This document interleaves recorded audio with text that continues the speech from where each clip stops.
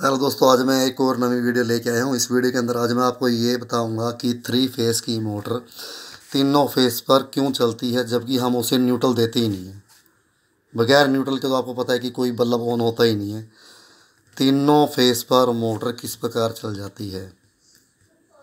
और या फिर, और या फिर जैसे सौ सौ वाट के दो बल्ब अगर हम सीरीज़ में लगा दें 220 वोल्ट का एक बल्ब और दूसरा 220 वोल्ट का बल्ब है। अगर दोनों को हम सीरीज़ में लगा दें तो वो 410 वोल्टेज पर कैसे ऑन हो जाता है? जबकि हम दोनों तरफ़ ही फेस दे रहे हैं, करंट दे रहे हैं, अर्थ तो दे नहीं रहे हैं, फिर भी ये बल्ब ऑन कैसे हो जाते हैं और थ्री फेस की मोटर किस प्रकार चल जाती है, बगैर न्यूट्रल के।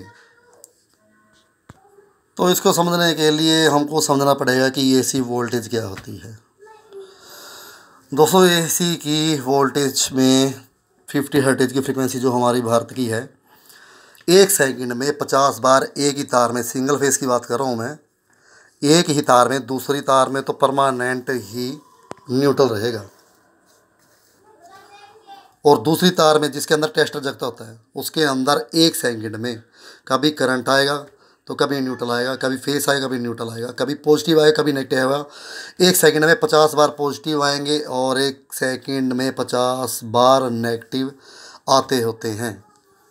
इस चीज़ को फ्रिक्वेंसी कहते हैं। एक सेकंड में पचास बार ऐसा होता है और फ्रिक्वेंसी होती है ये। इसका एक साइकिल ए यूँ पूरा होता है दोस्तों। जब यहाँ से ये ऊपर की तरफ़ जाती है, तब पॉजिटिव तब करंट होता है और जब यही साइकिल का हिस्सा नीचे की तरफ़ आता है, तब नेगेटिव होता है।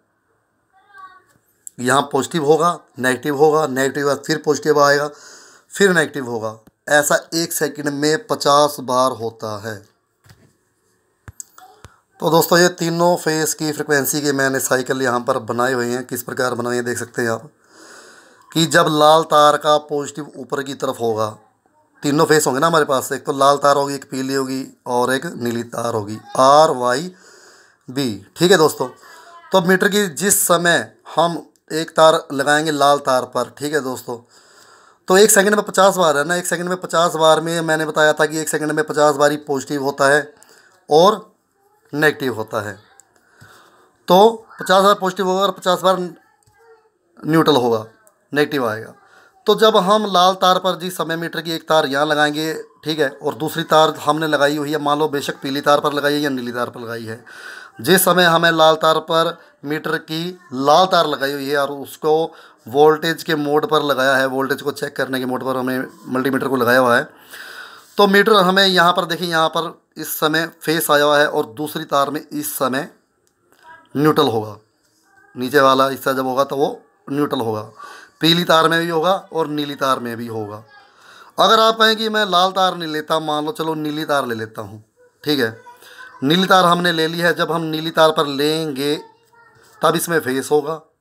ठीक उसी मौके पर यहाँ पर नीचे देख सकते हैं आप कि लाल तार में भी नेगेटिव होगा और पीली तार में भी नेगेटिव होगा, यानी कि न्यूट्रल होगा।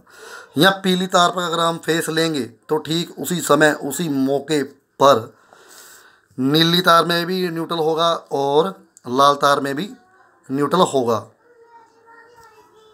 यहाँ से आप इसे देख सकते हैं। जिस जिस समय यहाँ पर पॉजिटिव होगा लाल तार में, उस समय पीली तार में और नीली तार में नेगेटिव होगा। यानी कि दोस्तों, जिस समय तीन फेस के अंदर, एक फेस के अंदर जब करंट होगा तो दोनों तारों के अंदर उस समय न्यूट्रल होगा। ठीक है दोस्तों?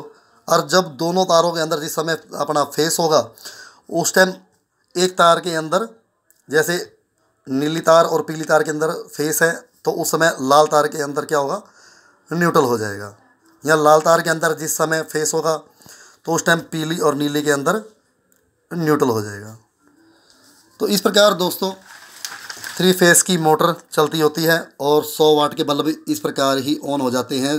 दो बल्ब जो मैंने सौ सौ वाट के, एक बल्ब दो सौ बीस वोल्ट का, दूसरा बल्ब दो सौ बीस वोल्ट का है, बगैर न्यूट्रल के ये क्यों ऑन हो जाता है? इस इस तरह ही होता है। जिस समय एक बल्ब इस तार पर, मान लो दोनों तरफ़ मैंने फेस दिया है ना, मान लो, इधर भी एक फेस दिया, दूसरा फेस यहाँ दिया यहाँ पर करंट है तो उसी समय, इस समय, इस साइड न्यूट्रल होगा। जब इस साइड फेस होगा तो इस तार पर न्यूट्रल होगा, जैसा कि मैंने आपको यहाँ पर बताया है। उम्मीद है दोस्तों, मेरी ये वीडियो आपको समझ में आ गई होगी।